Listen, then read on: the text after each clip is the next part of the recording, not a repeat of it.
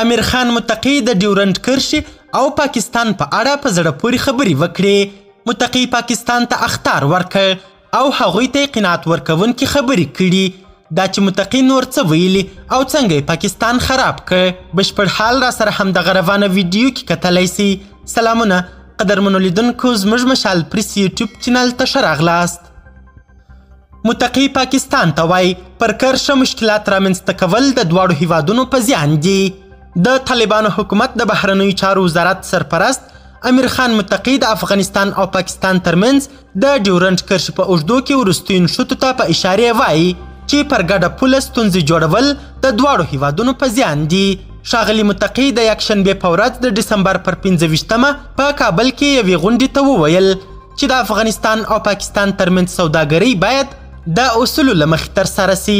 هغه وویل دا چې پاکستان د افغانستان له لارې مرکزي اسیا ته ترانزیت کوي په خبره افغانستان هم حق لري چې د پاکستان له لارې څخه استفاده وکړي نوموړي زیاته کړه په نږدې هیوادونو کې زموږ او ستاسو گاونډی هیواد پاکستان هغوی ته موږ دا خبره کوو چې زموږ او ستاسو د سرحدي ځواکونو ترمنځ لانجه نه ستاسو او نه زموږ په ګټه ده پر کرښه مشکلات رامنځته کول نه ستاسو په ګټه ده نه زموږ په ګټه ده زه تا ته د ورور سیال مسلمان په سترګه ګورم ته هم په هغه سترګه راته وګوره تجارت د اصولو په رڼا کې راسره وکړه راشه درشه د اصولو په رڼا کې راسره وکړه تا ته چې مې لار درکړې ده ټوله مرکزي اسیا ته مې درته خلاصه کړې ده زه هم حق لرم چې ستا له ترانزیټي لارې څخه استفاده وکړم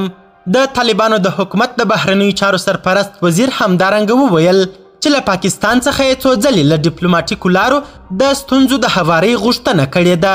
ښاغلی متقي پر داسې مهال دا څرګندونې کوي چې روانه ډسمبر میاشت د کندهار ولایت د سپین بولدک ولسوالۍ اړوند شیر اوبو سیمه کې چمن سره پر پوله د طالب او پاکستاني سرتیرو ترمنځ د نښتو راپورونه ورکړل سول ویل کیږي چې طالب سرتیرو د شیر اوبو سیمه کې امنیتي پوستې جوړولې چې پاکستاني سرتیرو پرې ډزې کړي او نښته رامنځته سوه قدرمنو لیدونکو نړۍ مننه چې ویډیو مو تر اخري شېبو وکتل د لا زیاتو او نورو لحظه پر لحظه خبرې مطالبو لپاره